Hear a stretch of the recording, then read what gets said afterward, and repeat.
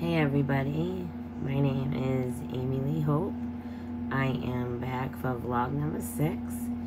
It took me, I don't know, I think like two and a half to three weeks to start this one after my last one, which I was kind of hot on myself. Um, I just couldn't get myself into the right zone, I guess, or I couldn't think of a topic, and I wanted to do one on pain medication, which I will do, but through all of this, I realized that there's a more important issue right now for myself, I guess, that I think is worth talking about.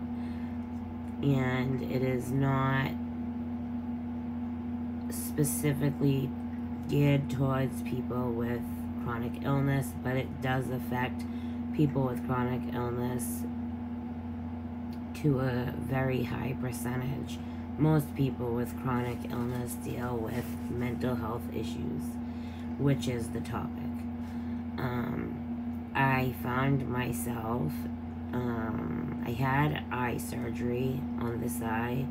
I had an Ahmed, I believe it's called, implant put in to help to drain the fluid pressure from my eye. It's really gross. I watched the surgery. It's kind of fascinating. Um, it's right above. I hate. I I can feel it, and I don't like that. But it's like all my replacements, my joint replacements. They tell you they'll feel like yours in a certain time, and they never do. This, I was told, would feel like an eyelash in my eye, and that's not true. It feels like a big ball or a rock on the top of my eye, and it sucks. But anyway, it's working, so that's the point, and that's great. But it sits like it's in my eyeball, tucked in my eyeball on the top right here, and where your eye is, is your socket, I can feel it like to the top of my eyebrow right here and it's pretty big. Um, when I watched the surgery, I couldn't believe how big that thing was. But anyway, it's doing its job.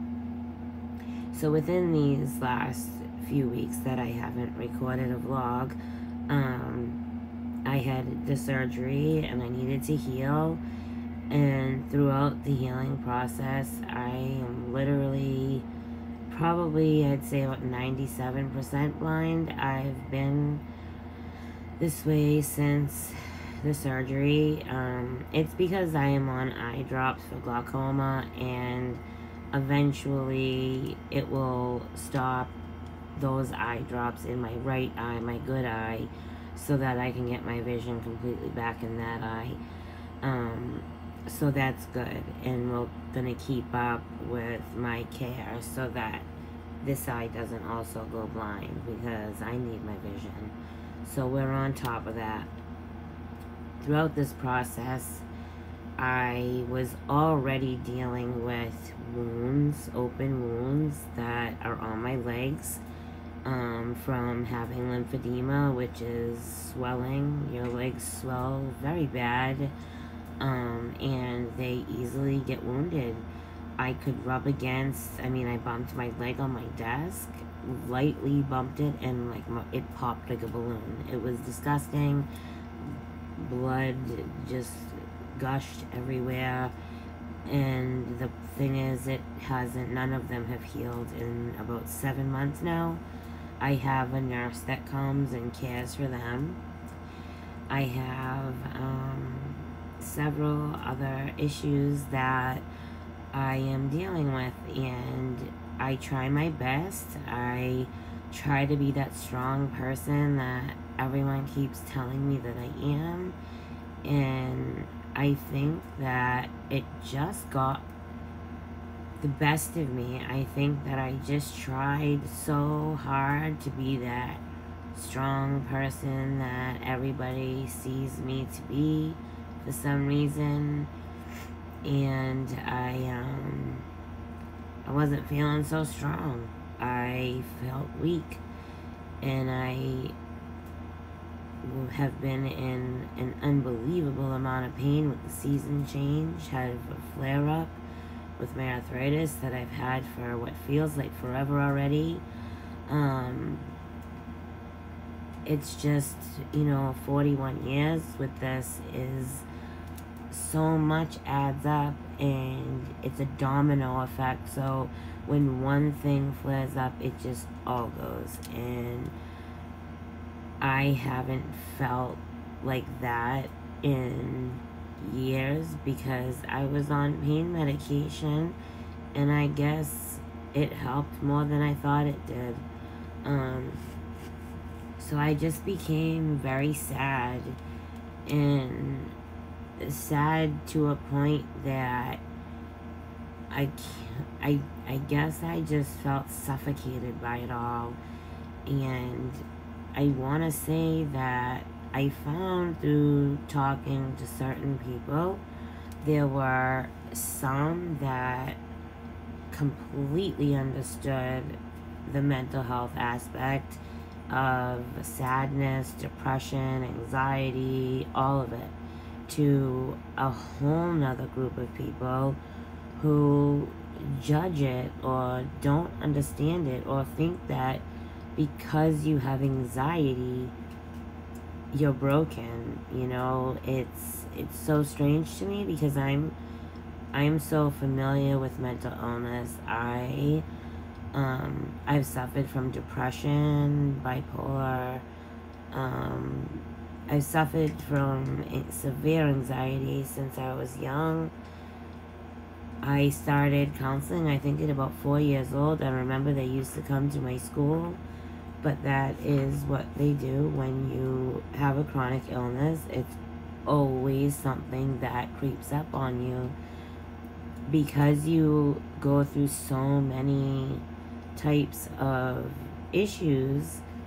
You know, obviously you're going to get sad, and sometimes the sadness turns into a depression, and you have constant anxiety and worries all the time, which is normal. And that's what I want to get to with this. There is absolutely nothing to be ashamed of with your mental health. Nothing. There is a huge problem with people who don't educate themselves on mental illness when they have a loved one um, or someone that's affected by any kind of mental illness, they don't educate themselves. So, let's say I was to slip, Eh, you know, depression can sneak right up on you. So, let's say I sneak up, eh, eh, a depression sneaks up on me, and I start to slowly get all the symptoms of a complete depression and my husband Chris doesn't know anything about it. He's just gonna wonder what's wrong with me. He's not gonna know to ask me questions or to reach out for help um, because depression can become quite serious. You know, it can lead to suicidal thoughts. Um, I've I've been through some serious ones and it's not a joke. It's not a joke. And we need to reach out and learn to ask for help. I am terrible at that, and I need to start getting better with it. I recently did um, this past week. I reached out to a friend and told her that I was just sad. I just I I knew it wasn't depression. I'm not, you know, I I laugh still. I still talk to my friends. I I I'm not depressed and I know that, but I do have very bad anxiety right now and have been very sad at all of the things that I'm going through everything's just piling on so quick and there's so much and people don't understand it. They don't understand how, you know, somebody can have so much wrong with one body. So I reached out to this friend, and I've known her since I was Jesus, maybe like 10, 11, I don't, I don't know. And to hear the words that she used to describe me was unbelievable to me because I was like, how can people see me this way and I don't see myself anywhere near what these people say? I mean, she told me that I was admirable. I it made me cry. Um but she was so uplifting and supportive and it helped me so much just to reach out to somebody. Um, unfortunately, with all of this pandemic stuff, we can't really have people around. And if you're autoimmune, like myself, you are very limited to who you can be around. Um, so you you feel more lonely than you normally even would already. And it it just got to a point man where i just felt the loneliest i'd felt in a long long time. A very deep deep emptiness inside me. And i didn't like that because that's not me. I am outgoing you know i mean I'm talking like not going out because obviously I'm not mobile really anymore, but I am outgoing personality. I love to talk to anybody. I'm a friendly person. I love I love shooting the shit and having fun. I love it. So I just didn't like what was happening to me. And I think that people need to realize that that's okay and because you have to take a Xanax because you have anxiety is okay. That is a medication that you are given for that reason. Um, it is okay. It, it if anybody's going to judge you because you take medication for your mental illness, then they are not someone that really either understands or doesn't need to be in your life. Um, I've taken time to educate certain people in my life, and whether they understand or not remains to be seen. But it is what it is, and I don't personally know how you can have someone in your family be mentally ill and not educate yourself. I mean, I know I've seen mentally ill people to a, a pretty decent degree and the families have no clue how to deal with it. They don't even know what it's about. And i think that that's sad. I mean i can't imagine being in a family where i have a legit mental illness. I'm talking if you're bipolar, schizophrenic, uh, who the who the hell knows, okay? Any of it, and your family's got no clue. I don't understand why a family wouldn't want to help that person um, instead of playing like the ignorance card. And by ignorance, I mean just not having the education and what it's about. There is nothing to be ashamed of. I'm going to tell you right now, I had been diagnosed bipolar, but I was on some heavy pain medication most of my life. And as I got off the pain medication and was close to the endish of when I got off, um, my mind became so much more clear. I was like a whole different person and that I guess mm, from my doctors, you know, and realizing things were changing and evaluating me had taken away that diagnosis, which to me was great. I loved that fact because I didn't feel that way anymore. I felt completely clear headed and different. I knew that I still had anxiety. I knew I was still susceptible to depression, but I wasn't bipolar anymore, and that was such a relief when I started to become clear headed because let me tell you, the whole bipolar thing, man, is it serious. It is so serious. Um, I know that I felt so alone for so many of those years. Um,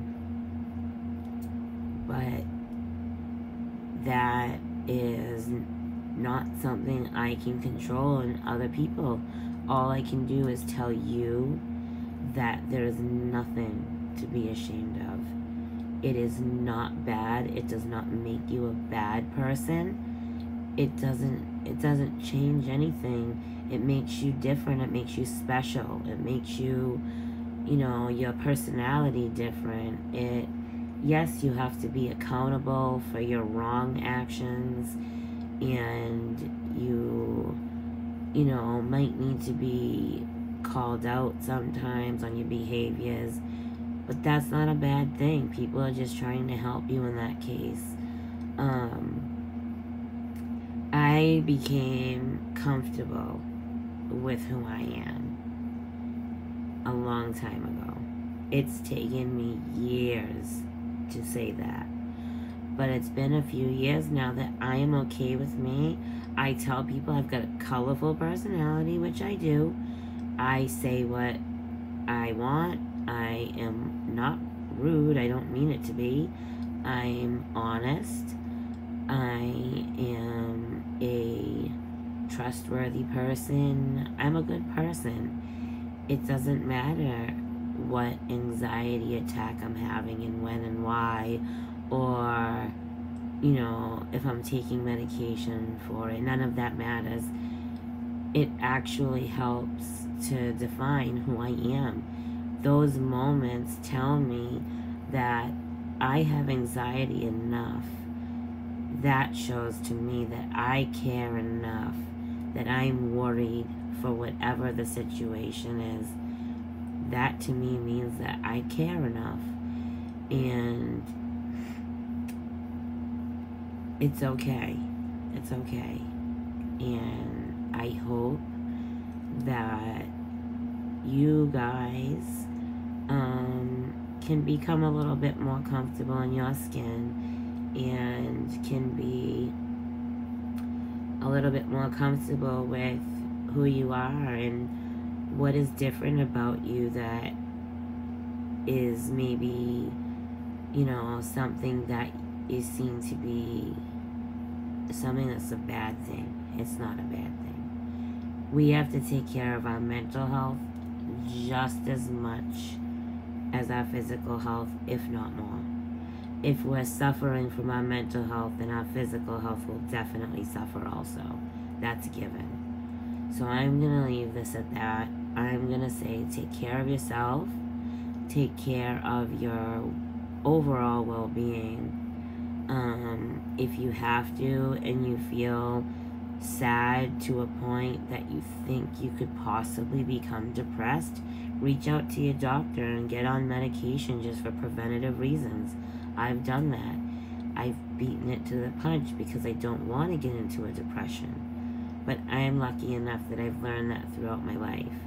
So I want to say that um, Sorry, I'm leaking everywhere. This whole half of my face, because of my eye, is just leaking. So, I hope that you maybe got something out of this vlog. I hope that you realize how amazing and beautiful you are. And by different, I mean beautifully different. Imperfectly perfect. That's what we're supposed to be as human beings, we are meant to be different and be okay with who you are no matter what. I am proud of myself right now for just getting this video out there. It was a lot for me because it's such a sensitive topic. Um, I wasn't really sure how to go about it, but I am glad that I did. I hope you guys all have an amazing day and a beautiful week. And I'm going to say peace and keep on keeping on, guys, because that's all you can do.